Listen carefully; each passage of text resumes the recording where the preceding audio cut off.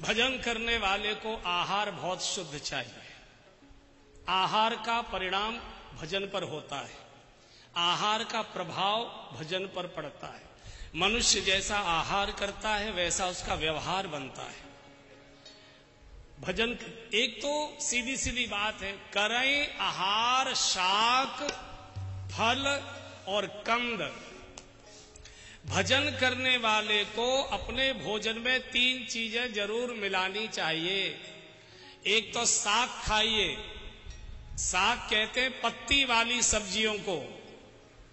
पालक है, बैती है, बथुआ है, चौलाई है, सरसों है, ये जो पत्ती वाली सब्ज़ी होती है इसको कहते हैं साग। इससे पेट शुद्ध होता है और जब पेट गुड़ गुड़ गुड़ गुड़ गुड़ करता है तो भजन नहीं होता। आलस्य आता है, जवाई आती है, मन नहीं करता है। पेट शुद्ध होना बहुत आवश्यक है। पेट शुद्ध होते ही मन शुद्ध होने लगता है। इसलिए भोजन में यथा संभव उस मौसम की कोई न कोई पत्ती वाली सब्ज़ी, साग, पालक है, बथुआ, ये अपने हर मौसम में होता है। फल फल से मन शुद्ध होता है। फल से मन शुद्ध होता है। मौसम का फल, कीवी खाना ज़रूरी नहीं है।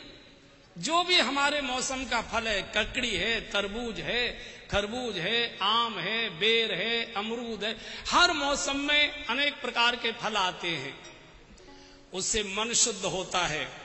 फलाहार करते हैं व्रत के दिन इसलिए, ताकि मन शुद्ध हो। जब शुद्ध मन होता है तब भगवान का नाम आता है। और कंद कहते हैं, जो ज़मीन में से निकलता है, शकरकंद है, आलू है सलजम है, गाजर है, मूली है, जो जो नीचे से निकलती है उससे बुद्धि शुद्ध होती है, विचार शुद्ध होता है।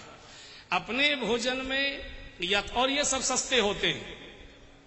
भारत में मौसम में पैदा होने वाले फल, इसे सब खा सकते हैं। अब आप बिना मौसम के सेब खाओगे तो सौ रुपए किलो मिलेगा ही मिलेगा। मौसम के फल खाइए, इससे शुद्ध होता है। एक तो ये आहार है बंधु, अब थोड़ा ध्यान से सुन लीजिए। भजन जिससे बिगड़ता है, अब मैं उस आहार की चर्चा कर रहा हूँ। जब कोई साधु आहार बोलता है तो वेज और नॉन वेज इसी पर ध्यान जाता है। तो नॉन वेज की चर्चा इसलिए नहीं करूँगा कि मैं मध्य प्रदेश में बैठा हूँ।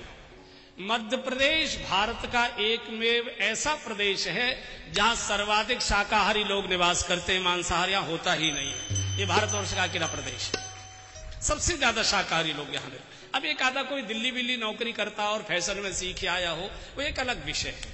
लेकिन शाकाहारी तो उस पर बात नहीं करूँ। फिर जब कोई साधु भोजन की बात करता है तो प्याज, लहसुन पर दिमाग चला जाता है। कि महाराज ज़रूर प्याज लहसुन की मना करेंगे। मैं प्याज लहसुन का पक्षधर भी नहीं हूँ और मैं उसका विरोधी भी नहीं हूँ। और मैं ये मानने को तैयार नहीं हूँ कि जो प्याज लहसुन खाते हैं वो भजन नहीं कर सकते।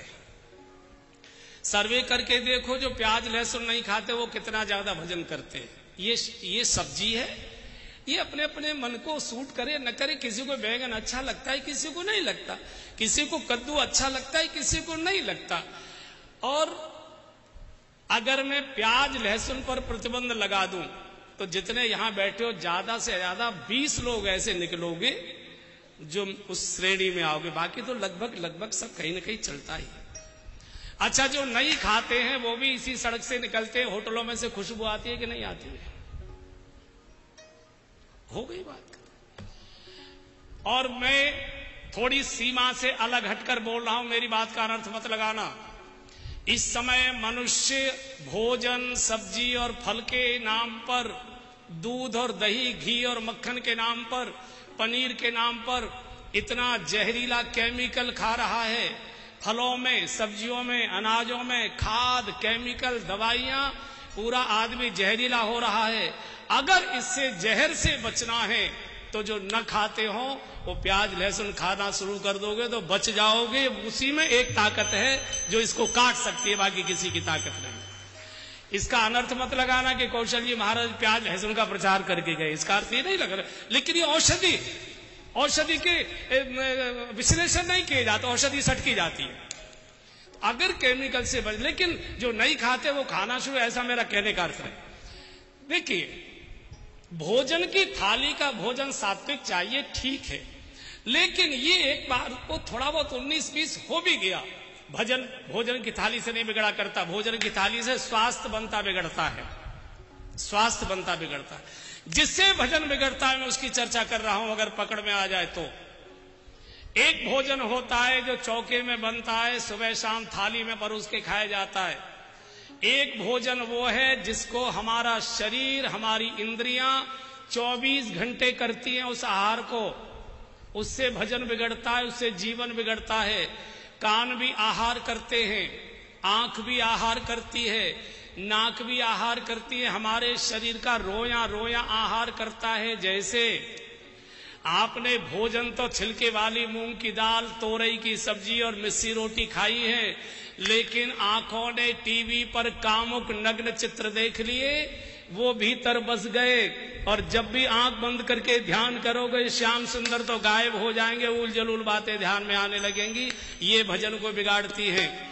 भोजन की थाली का तो आहार सात्विक था, लेकिन कानों ने कामुक संगीत सुन लिया।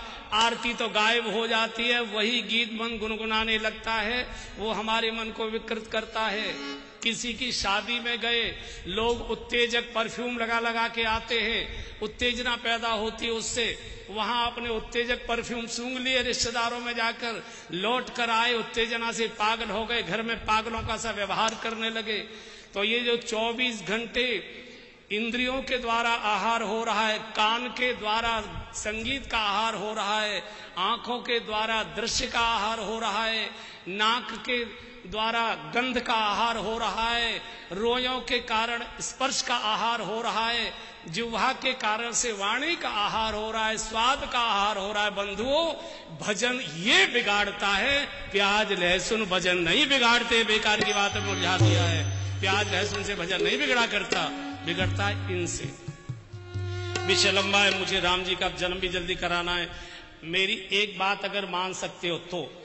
हालाँकि आप मानोगे नहीं, लेकिन मेरी कहना मजबूरी है। मैं केवल भगवान के भय से बोल रहा हूँ। मुझे वो डांटेंगे, कम से कम बोल तो देता, कोई तो मान लेता। ये मुझे मालूम है कि मेरी बात आप में से एक भी नहीं मानेगा। लेकिन पंद्रह दिन प्रयोग करके देख लीजिए। आपको फ़ायदा हो तो पालन करना नहीं फ़ायदा हो तो मुझे दस गाली देके शुरू कर देना उसे। जिनको भजन करना है, शब्द बोल रहा हूँ, जिनको भजन करना है, वो मेरे निवेदन से केवल एक महीने, केवल एक महीने अपने सोने वाले कमरे में से टेलीविज़न हटा दीजिए। केवल एक महीने मैं इस व्यास पीठ से बोल रहा हूँ, कुंभ में बोल रहा हूँ, संतों की नगरी में बैठकर बोल रहा हूँ और बहुत अनुभव और अधिकार से बोल रहा हूँ, जिसके सोने वाले कमरे में टेलीविज़न लगा है, वो कभी भजन कर ही नहीं सकता, भले जगत गुरु के आसन पर क्यों बैठा हो। संभव ही नहीं। प्रश्न ही पैदा नहीं होता। इसलिए सारे घर में टीवी लगा दो लेटरिन में टीवी लगा दो, जीने में लगा दो, रसोई घर में लगा दो पूरे घर में टीवी लगा दो, सोने वाले कमरे से हटा दीजिए। एक महीने केवल प्रयोग करके देख लीजिए। एक महीने के बाद नहीं हो तो अपने घर में लगाइए, मैं कम मना कर रहा हूँ। लेकिन दवाई एकदम मत फेंकिए। एक बार उसका सेवन करके देखिए, फ़ायदा। बंधुओं, मैंने सारी दुनिया को सुधारने का ठेका नहीं लिया है। और न मैं सुधार के लिए निकला हूँ। लेकिन मेरी एक इच्छा ज़रूर है कि जो बैठकर कथा सुन रहे हैं, कम से कम उनके घर में भक्ति के पुष्प खिलने चाहिए, उनके घर में आनंद होना चाहिए। बाकी इसकी हमने ठेका नहीं लिया। वो कम से कम। कुछ दिन प्रयोग करके देख लो। कुछ दिन। छोड़ देना दस मुझे गाली दे देना मुझे अच्छा लगेगा।